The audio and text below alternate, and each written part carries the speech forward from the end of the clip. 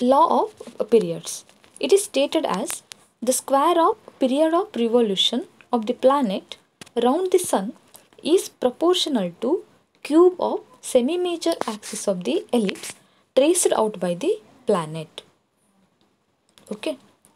means if you consider the time period of revolution t ಅಂದರೆ time taken by the body to complete one rotation or one revolution okay ಒಂದು ಆಬ್ಜೆಕ್ಟಿಗೆ ಒಂದು ಸುತ್ತನ್ನು complete ಮಾಡಲಿಕ್ಕೆ ಬೇಕಾಗಿರುವಂಥ ಸಮಯವನ್ನು ನಾವು ಟೈಮ್ ಪೀರಿಯಡ್ ಅಂತ ಕರಿತೇವೆ okay year square of time period is proportional to cube of semi major axis okay hence T square is proportional to A cube semi major axis is denoted by a okay right consider for example so ಎರಡು ಪ್ಲ್ಯಾನೆಟ್ಸನ್ನು consider ಮಾಡಿ earth ಮತ್ತು Jupiter the earth takes one year to complete one revolution around the sun okay jupiter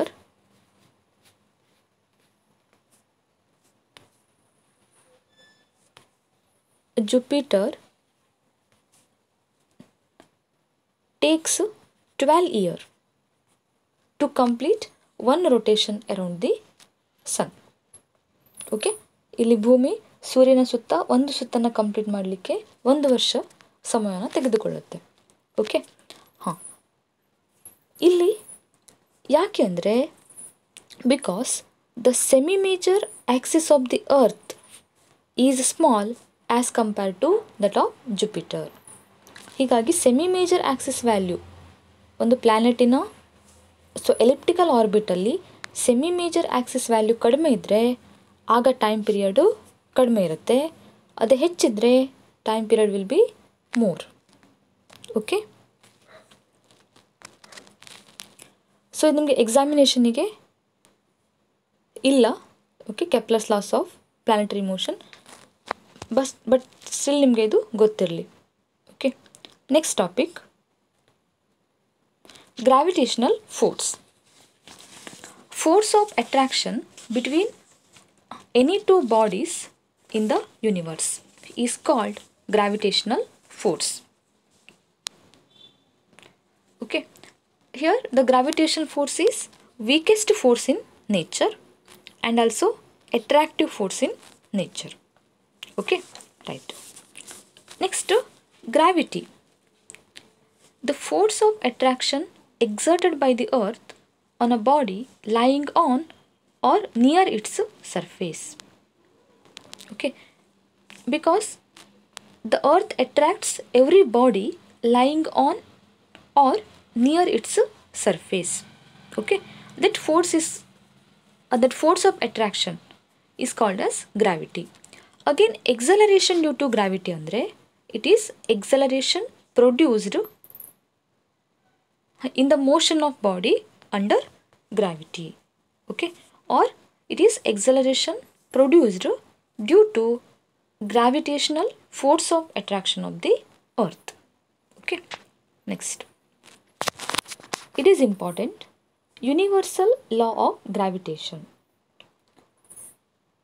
proposed by Newton, Isaac Newton. Statement as follows. Every body in the universe attracts every other body with a force which is directly proportional to product of their masses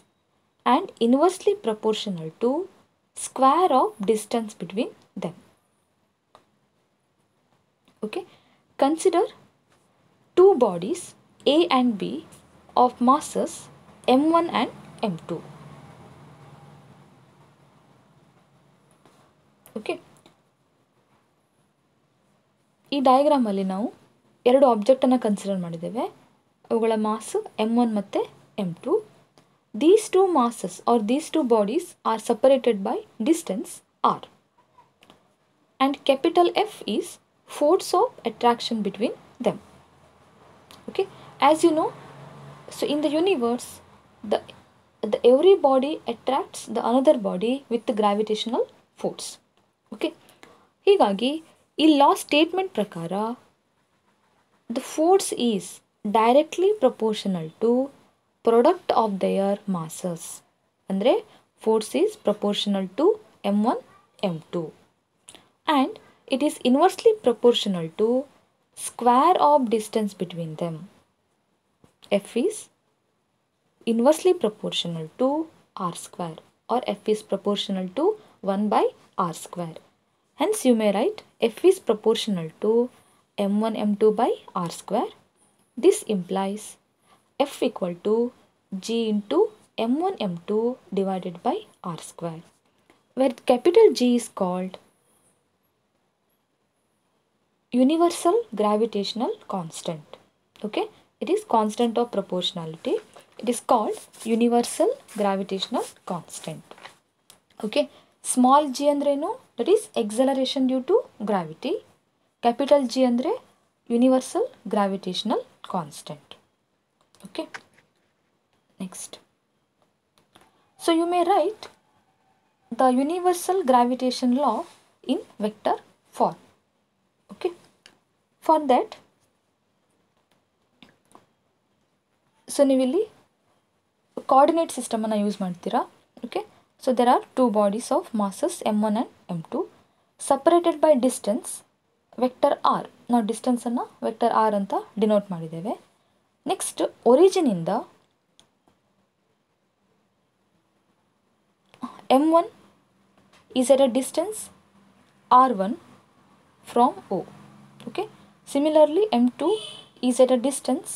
vector r2 from o okay now gravitational force exerted on b by a here it is b this is a okay so gravitational force exerted on b by a f equal to minus g into m1 m2 by r square into vector cap we know so force ಅನ್ನೋದು vector quantity ಹೀಗಾಗಿ ನಾವು ಇದನ್ನು vector ಫಾರ್ಮಲ್ಲಿ ಬರೀಬೇಕು ಅಂದರೆ both the sides of ಇಕ್ವೇಷನ್ನು vector ಫಾರ್ಮಲ್ಲೇ ಇರಬೇಕು okay ಹೀಗಾಗಿ ನಾವಿಲ್ಲಿ ಆರ್ ಕ್ಯಾಪ್ ಅಂತ ಬರೆದಿದ್ದೇವೆ ಆರ್ ಕ್ಯಾಪ್ ಅಂದರೆ ಏನು it is a unit vector from M one to M two M one to M two okay right so ಇಲ್ಲಿ ನೆಗೆಟಿವ್ ಸೈನ್ ಯಾಕೆ ಬಂದಿದೆ ಅಂದರೆ here the force is exerted on B by A okay right now a capital f equal to simplification ಮಾಡಿದಾಗ we know r cap equal to vector r divided by magnitude of vector r ಹೌದಾ ಅದನ್ನು ಇಲ್ಲಿ substitute ಮಾಡಿ substitute ಮಾಡಿ simplify ಮಾಡಿದಾಗ you are getting vector F equal to minus G M one M two by R cube into vector R so this is vector form of universal gravitation law okay ಇಲ್ಲಿ negative sign ಏನು indicate ಮಾಡುತ್ತೆ ಅಂದರೆ gravitational force is attractive and the direction of force is along minus R minus R okay next determination of gravitational constant that is G the value of G was first determined by Henry Cavendish. Okay remember the name of the scientist who determined first the value of universal gravitational constant. Okay, for this consider two small lead spheres are attached at two ends of a bar. Okay. A and B ಅಂತ ಇದೆ okay A and B ಅಂದರೆ ಏನದು those are two small lead spheres The bar is suspended from a rigid support by a fine wire. Okay. Next, two large spears S1 and S2 are brought close to small spears but on opposite sides andre ಅಂದರೆ ಇಲ್ಲಿ large large S1 S so so ಹೀಗೆ ನಾವು close ಆಗಿ ಈ ಡೈರೆಕ್ಷನಲ್ಲಿ ಇಡ್ತೇವೆ ಬಿಗೆ close ಆಗಿ ಈ ಡೈರೆಕ್ಷನಲ್ಲಿ ಇಡ್ತೇವೆ okay the big spheres attract small ones nearby equal and opposite force so there is net torque on the bar okay so so you heard the new word torque torque ಅಂದರೆ it is rotatory effect produced by the force ಅದಕ್ಕೆ ನಾವು torque ಅಂತ ಕರಿತೇವೆ okay so ಅಂದರೆ here ನೀವೊಂದು ಈ ಥರ ಒಂದು ಆಬ್ಜೆಕ್ಟನ್ನು ತಗೊಂಡಾಗ ಅದರ ಎರಡೂ ಎಂಡ್ಸಲ್ಲಿ ಈಕ್ವಲ್ ಮತ್ತು ಅಪೋಸಿಟ್ ಫೋರ್ಸ್ ಆ್ಯಕ್ಟ್ ಆಗ್ತಾಯಿದ್ರೆ ನಾವು ಅದನ್ನು ಕಪ್ಪಲ್ ಅಥವಾ ಟಾರ್ಕ್ ಅಂತ ಕರಿತೇವೆ okay here torque equal to force between big and small spheres into length of the bar okay into length of the bar that is f into l ನೀವು torque ಬಗ್ಗೆ system of rigid body dynamics ಚಾಪ್ಟ್ರಲ್ಲಿ detail ಆಗಿ ಕಲಿತೀರಾ okay right so due to torque the bar rotates and the suspended wire twists till restoring torque of the wire is equal to gravitational force okay ಇಲ್ಲಿ torque ಅಂದ್ರೇನು that is also a force which produces the rotatory effect in a body okay ಟಾರ್ಕಿಗೆ example ಆಗಿ ಕೊಡೋದಿದ್ರೆ ನೀವು ಒಂದೀಗ ಬಾಟಲಿನ ಮುಚ್ಚಳವನ್ನು open ಮಾಡಬೇಕಿದ್ರೆ ಅದರ open ಅಥವಾ closing ಮಾಡಬೇಕಿದ್ರೆ ಆ ಮುಚ್ಚಳದ ಎರಡೂ ಎಂಡ್ಸಲ್ಲೂ ಕೂಡ equal and opposite force act ಆಗುತ್ತೆ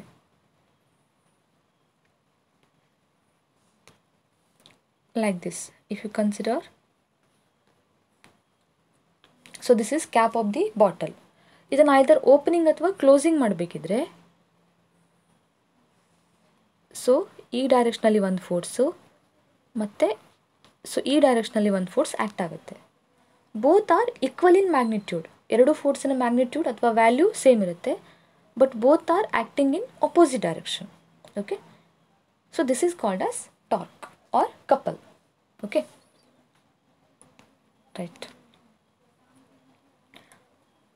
okay ಹೀಗಾಗಿ ಡ್ಯೂ ಟು ದಿಸ್ ಟಾರ್ಕ್ ಏನಾಗುತ್ತೆ the bar rotates so this bar rotates and the suspended wire twists okay till the restoring torque is equal to gravitational force restoring couple can be return as tau into theta okay ಟಾರ್ಕನ್ನು ನಾವು tau ಅಂತ represent ಮಾಡ್ತೇವೆ tau into theta where theta is angle of twist of suspension wire. Okay. If capital M is mass of big sphere and small m is mass of small sphere and d is distance between them, then according to universal law of gravitation, F equal to g into mm by d square, correct? Hence, these two forces are equal ಯಾವುದು gravitational force ಮತ್ತು this restoring couple ಈ ಎರಡು ಎಕ್ಸ್ಪ್ರೆಷನ್ನ equate ಮಾಡಿದಾಗ G M M by D square equal to tau into theta so by measuring theta here this whole values are constant mass of the large sphere mass of the small sphere distance between them and tau ಮತ್ತು theta The value of g can be estimated using this equation. g equal to 6.67 into 10 raised to minus 11 Newton meter square per kg square. Okay, ಈ value ಜ್ಞಾಪಕ ಇಟ್ಕೊಳ್ಳಿ so this is important ಹ್ಞೂ next so S I unit of gravitational constant so ಅಲ್ಲಿ expression ಏನಿತ್ತು F equal to G into M one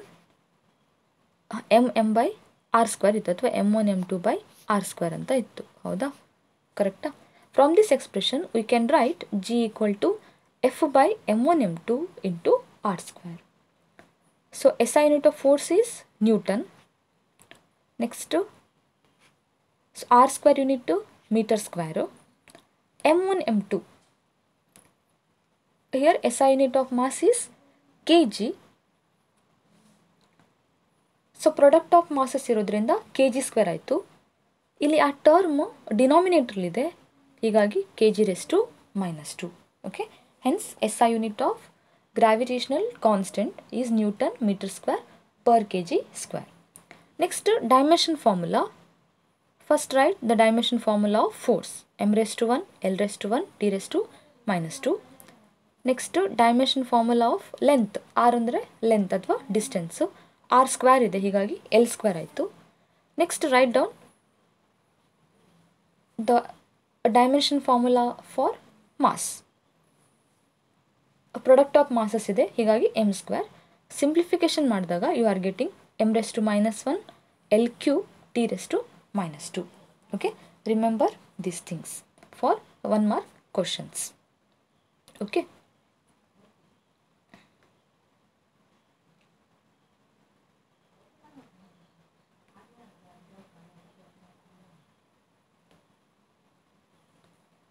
next acceleration due to gravity of the earth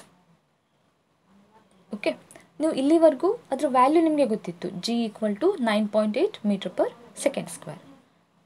okay okay so ಅದಕ್ಕೊಂದು expression ಇದೆ ಅದೇನು find out ಮಾಡೋಣ ಓಕೆನಾ the acceleration produced in the motion of a body under gravity is called acceleration due to gravity okay Consider capital M and capital R are mass and radius of the earth. Okay. Let small m is mass of a body on the earth surface. Okay, mass of a body which is lying on the earth surface. Force of attraction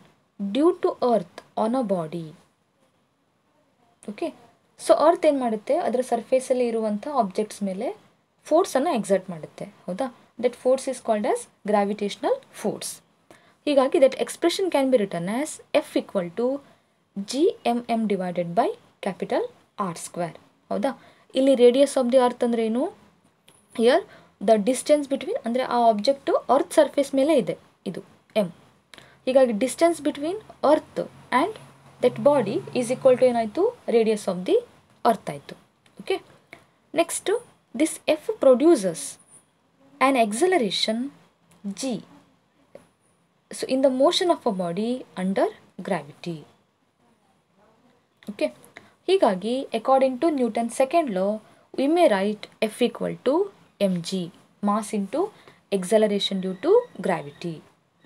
okay ನಾವು comparing these two equations ಇದು ಕೂಡ F ಕೂಡ ಏನು ಇಲ್ಲಿ gravitational ಫೋರ್ಸೇ F equal to M G ಅಂದರೆ this is also gravitational force hence so we can equate these two equations on equating so we are getting M G equal to G M M by R square m and m getting cancelled we left with the term small g equal to gm by r square this is expression relates small g and capital g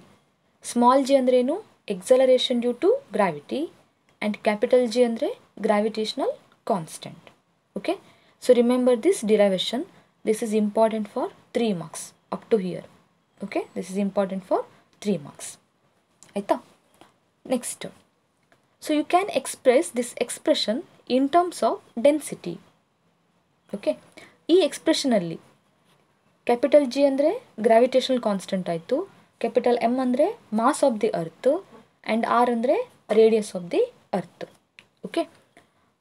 if you suppose ನೀವು ಇದೇ ಎಕ್ಸ್ಪ್ರೆಷನ್ನ ಡೆನ್ಸಿಟಿಯಲ್ಲಿ ಪಡ್ಕೊಳ್ಬೇಕು ಅಂದರೆ you have to consider rho is mean density of the earth then mass can be written as M equal to four by three pi R cube into rho ಈ expression ಹೇಗೆ ಬಂದಿದೆ we know density to mass mass volume okay hence hence mass to volume into density okay volume of the earth earth spherical ಶೇಪಲ್ಲಿದೆ ಅಂತ ನಾವು assumption ಮಾಡ್ತೇವೆ ಇದನ್ನು derivation ಮಾಡಬೇಕಿದ್ರೆ ಹೀಗಾಗಿ volume of the sphere is equal to four by three pi R cube where R is radius of the earth and rho is density of the earth okay hence G equal to expression ಏನಿದೆ G M by R square substitute M value here okay on substituting and simplifying we get G equal to four by three pi G R into rho okay ಇದು ಕೂಡ expression for acceleration due to gravity in terms of ಯಾವುದು density okay right Thank you.